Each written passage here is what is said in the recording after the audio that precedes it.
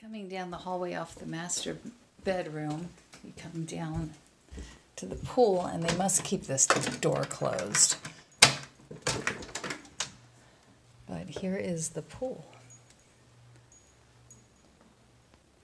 It's quite impressive.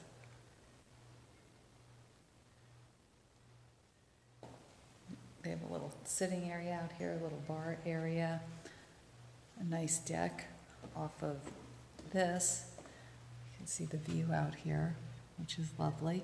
Big, big yard, because this lot goes all the way over here as well. So nice privacy. This is just your pool equipment in here. Bathroom in here. And this is the front of the house, and you can see over into this, uh, into the side yard.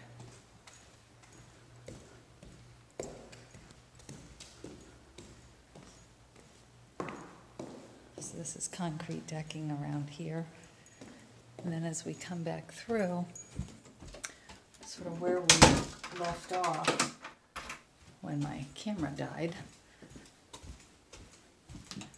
We were in the owner's bedroom, looking at the bath that needs to be remodeled. And wallpaper needs to come down.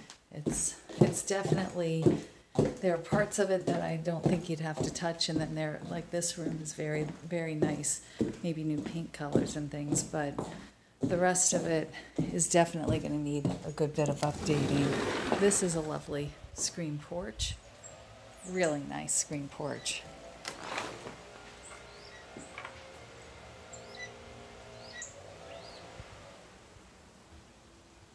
Out here, the decking is probably gonna need some work. The backyard and the view. It's just lovely.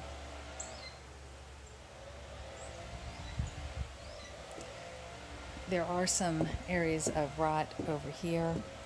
This door is probably going to need to be completely replaced. And I'm sure that there are other other doors and windows, yeah, over here. So really